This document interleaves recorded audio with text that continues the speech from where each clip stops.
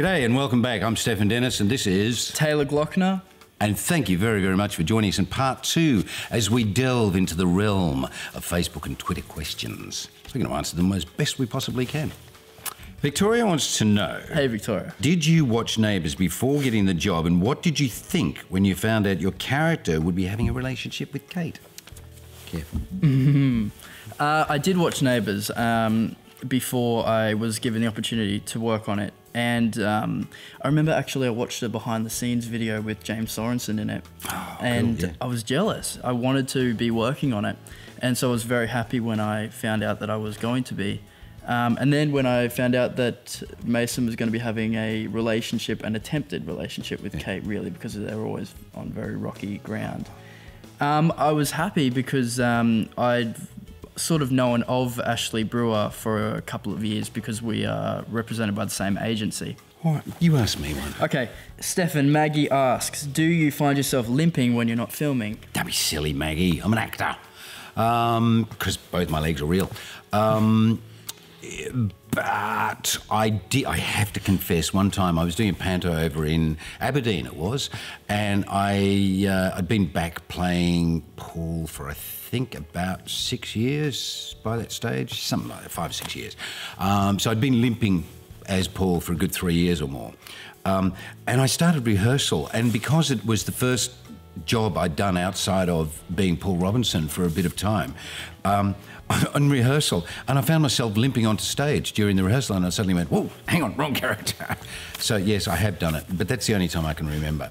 Lisa asks, of all the beautiful ladies you have married, which wife was your favourite and why? I would say probably uh, Fiona Corke, without question, was Paul's, uh, probably still to this day, Paul's uh, true love and uh, favourite wife. Um, followed closely by probably Rebecca. Leave asks, uh, isn't it about time they gave you a new girlfriend? It's got to be somebody who can be, uh, you know, not his, his rival. That's the wrong word, but you know, his counterpart. You know, somebody is not another Izzy is what we want for Paul. Now, Izzy. A lot of people have said Sarah. Mmm, Sarah Beaumont. Um, somebody else mentioned uh, who was a new one that came in, and they said, "Oh, they'd make a good couple." You know what I think would be really interesting? A lot of people have hinted at Therese. Therese, that's what I was going to say. There's Wouldn't another that marriage be breakup. interesting? Good old Paul, he's good at that. Jesse says, Do you hope to follow in the footsteps of the former Neighbours stars and head over to the Big Apple? Yeah, I'd like to work overseas at some point in my career in the future. England, America, wherever else, it doesn't matter really, as long as I'm just playing an interesting character, doing good stories, you know.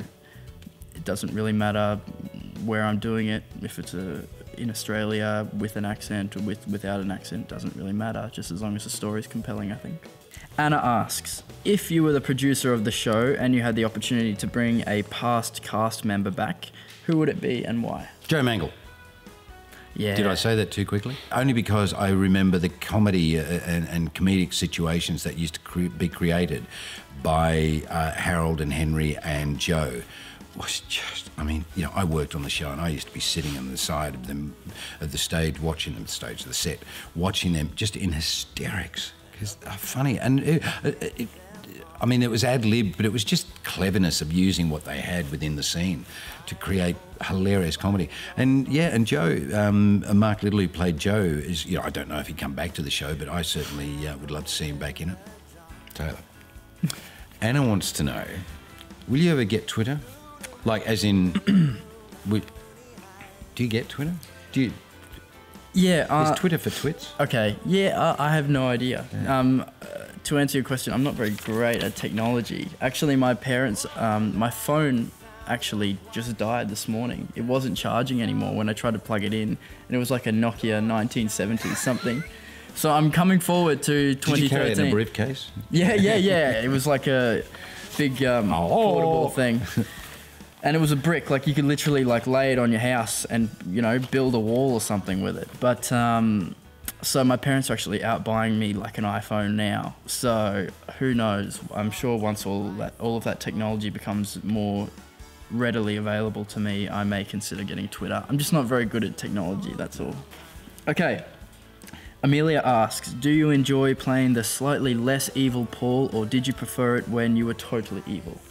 Totally evil. More fun. After the Izzy years, or during the Izzy years, Paul became just silly evil, and it was it was almost cartoonish. Um, very incredible fun to play, and, and deliciously evil, and, and great fun with Nat Bass and myself and Pippa.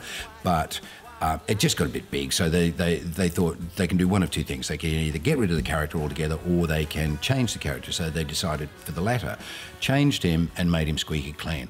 The problem there was, and it took a long time to, prevent, to convince the producers because they thought I was just disgruntled actor wanting something else, um, wanting the juicy stuff. But it, I used to be accosted daily in the street by people going, "When's Paul going to be bad? We hate him being good." So you kind of got your own answer. It's the public like my character being bad. The the, the, uh, the character they love to hate. And Stefan couldn't be further from Paul. He's a lovely, lovely guy. You are. Oh, you're nice. And can I ask you a question? Yeah, go on. When did Paul break bad? When was the thing that made Paul like, okay, I'm going down this path? Because I, Probably don't, I about like to believe nobody's actually born bad, you know? Like, No, no, no. He was a good guy. Paul was a good guy. As I say, he was just, you know, sort of happy-go-lucky university student. Then he joined the airline, and then he got into business. He, he was lured into uh, running the Australian end of the Daniels Corporation, which was headed by his uh, his auntie Rosemary Daniels, um, who was played by Mrs. Grundy. Did you know that? Yeah. Yeah, Joy Chambers. Who's well, Joy Grundy now. Um, who's lovely, delightful. And she, uh, yeah, and she lured Paul into uh, looking after the Australian end, and that's kind of when it all started. So I'd say probably around mm, 88, 87, 88. it's fascinating that you can um, remember his past. That I'm not that know. old. Onette, or Honette, we don't know, but I'm going to call you Onette. Hello. Um, wants to know simply sweet or sour. I'm gonna say sweet because um, yeah, Mason is required to be reasonably physically physically fit. So um, I do tend to look after myself to play him, and um, I am a sweet tooth. So whenever I've after I've done a shirt off scene, I will go and eat like some some chocolate cake or something with ice cream or something like that. So I'm gonna have to say sweet. Laura asks, what storyline do you think changed Paul the most? Oh, his leg off. Leg off storyline without question. I mean, that's that was life changing in every way. Um, it was it was a really good storyline, obviously, because rather than it just being over a, a few days or a, a week or even a couple of weeks, it went over months. I remember watching it Yeah, when I was a kid. it was silly, wasn't it? No, I liked it. I, oh, running, running through the. You're running through like the forest, the jungle, and then you. I just remember this scene of me waking up and realizing my leg's not there, and the look on my face. I just I didn't see that one, but What? What is that look? I reckon that's about all. What do you think, Taylor? I think that's all we have time for, unfortunately. But I had so much fun It was good fun. hanging out. Great answering questions. Gives us something to do, you know, hmm. other than sitting in the green room twiddling our thumbs. So keep those questions coming in because we'd love to come and sit in front of the camera again and talk to you and answer your question. Anytime. Till then, see you later. Thanks, guys. Bye.